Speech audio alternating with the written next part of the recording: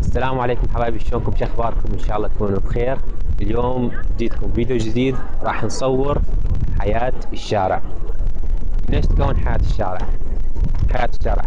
ناس مارين لازم تلتقط لهم صورة بس بحيث هم ما ينتبهون عليك.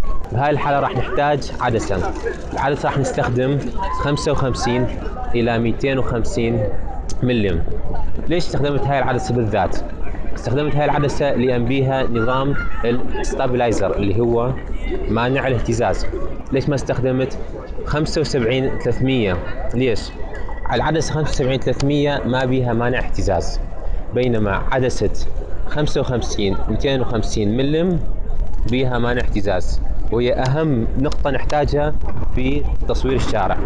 ما أقدر أجيب عدسة 18 55 ملم حتى أصور بيها تصوير الشارع أو تصوير حياة الشارع.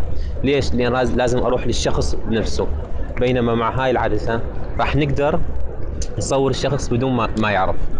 ملاحظة مهمة. في حال إذا الشخص لقفك أنه عتصوره أحسن طريقة إنه تهدئ الوضع تبتسم للشخص ابتسامة حلوة وخلاص. تمر الأمور على خير ماشي؟ وهسه وهسه راح نشوف راح نحاول نلتقط لكم بعض الصور ونشوف النتيجة.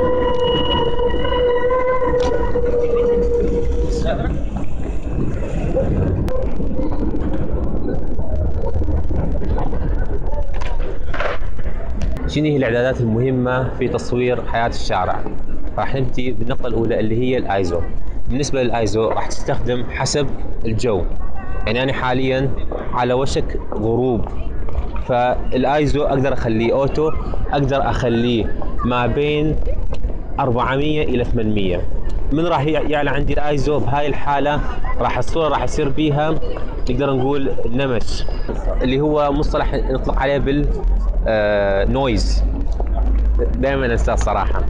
حاليا أنا مخلي الوضعيات آه، auto فتحة عدسة 5.6 shutter speed من واحد إلى 100 راح ن... ليش؟ بالنسبة لل shutter speed حاول shutter speed تقووه لأن كل ما shutter speed يعلى كل ما راح يصير عندك صورة واضحة وصورة ثابتة بنفس الوقت. زين. راح ناخذ صورة ثانية ونشوف الإعدادات.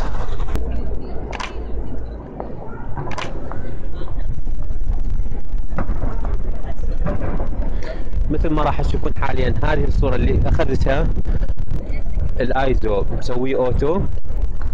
أنصحكم بها تخلوه على ال auto لأن إذا راح تخلي حاليا مثلا آيزو 400 أو راح تخلي آيزو مثلا 800 راح تشوف الصورة غامقة أو تشوفها فاتحة. سويه أوتو لأن الأوتو هو راح يشوف لك الإمكانية مال ضوء النهار أو الضوء اللي حواليك وهو راح يعالج اوتوماتيكي راح نسرع شتر راح اسويه 200 وراح أحاول ألتقط صورة ثانية.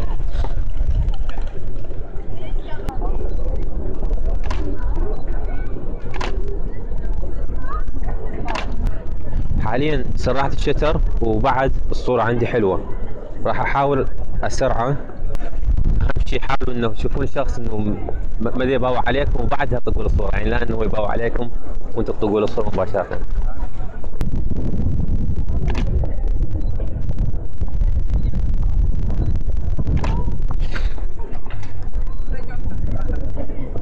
حاليا هاي الصورة اللي راح تشوفوها ماخذها في سرعة شتر 320 سرعة عالية.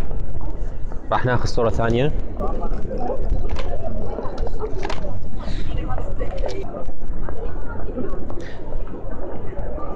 مثل ما راح تشوفون هاي أيضا صورة ثانية.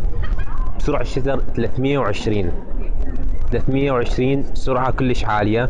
وراح نحاول نزيد السرعة. ليش راح نحاول نزيد السرعة؟ لأن الجو حيساعدنا حاليا. راح أسويها 400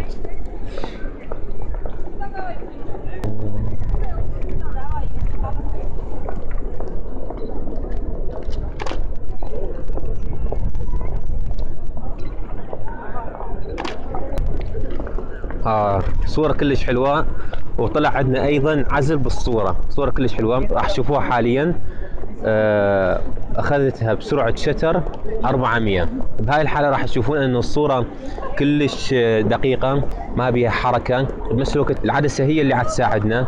العدسة آه، 55 250 ملم بيها ستابلايزر نظام مانع الاهتزاز. طيب. تعالوا ويانا راح نروح المكان الثاني نلتقط بعض الصور.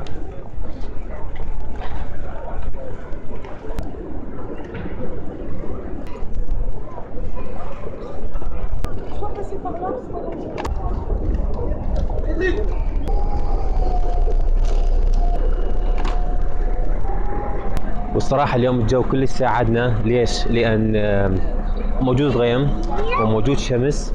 هذول العاملين المؤثرين آه، بالصورة. وبنفس الوقت عاد تشوفون أكو شمس بس الجو كلش بارد. تقريبا حاليا درجه الحرارة هي آه، اثنين بس الواقعي سالب اثنين. تشوفونا لا- لابسين وشاحنين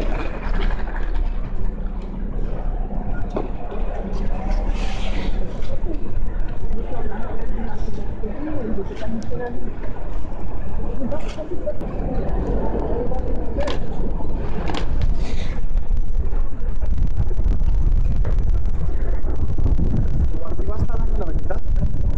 ما تشوفون هاي حاليا أيضا صور بشتر 400 شتر عالي. ما أريد ازيده بعد. لأن ما راح أزيد الشتر عندي راح الصورة يصير بيها آه راح تصير غامقة وراح أشوفكم بعض النماذج.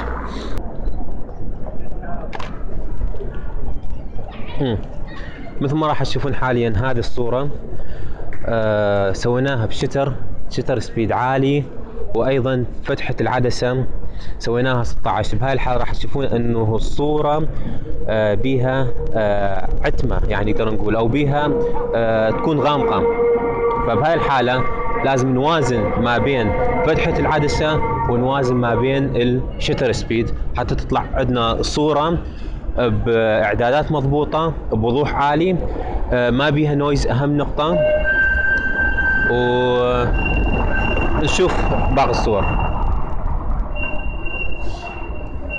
ما تشوفون حاليا الم- المصور مالتنا ايده جمدت لأن الجو كلش بارد. فحاليا تتم عملية تدفئة الإيد. راح نحاول نصور النورس. نشوف إذا راح تضبط عنا أو لا.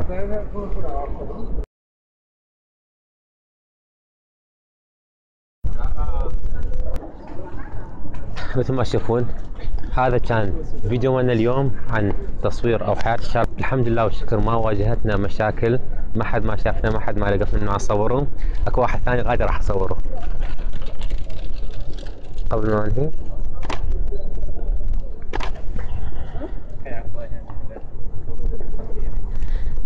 راح تشوفون حاليا هاي الصورة. صورة حلوة. نوعا ما. وقول ماشي حالها. مثل ما شفتوا حبايبي هذا كان نهاية الفيديو مالتنا حاليا. تصوير حياة الشارع شرحت به عن ال ISO وال shutter speed وفتحة العدسة. الإعدادات اللازمة في تصوير حياة الشارع. نشوفكم إن شاء الله بفيديو قادم. لا تنسون تسوون لنا subscribe و like لأن دعمكم هو اللي خلينا نستمر. وأي شيء تحتاجوا اكتبوا لنا بالتعليقات. شنو هي الفيديوهات اللي تريدون نسويها؟ شنو هي المواضيع شنو هي الاعدادات اللي أنتم محتاجيها بالتصوير؟ شنو هي العدسات اللي أنتم رايدين تصورون بيها؟ شنو هي العدسات اللي تهمكم واللي يعني نقدر نقول تحتاجوها جدا بالتصوير؟ تحياتي لكم أحبكم أموت عليكم. في أمان الله.